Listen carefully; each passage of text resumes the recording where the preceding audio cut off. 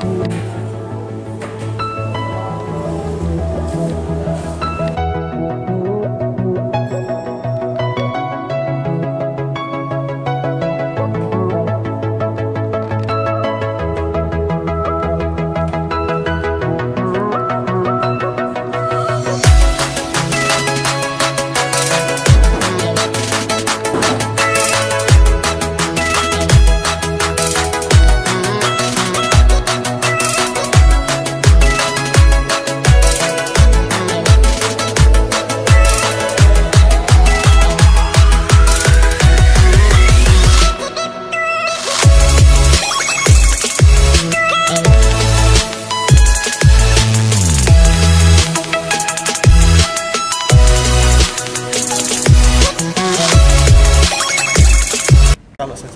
tingkat hunian eh, ada peningkatan yang lumayan eh, signifikan ya.